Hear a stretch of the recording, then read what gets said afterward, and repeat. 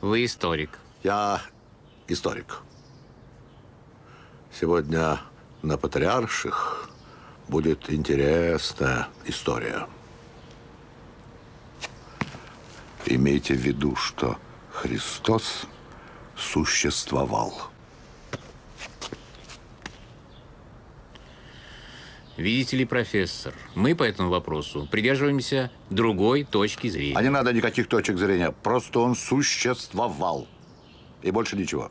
Но нужны же какие-то доказательства. И доказательств никаких не требуется. Все просто.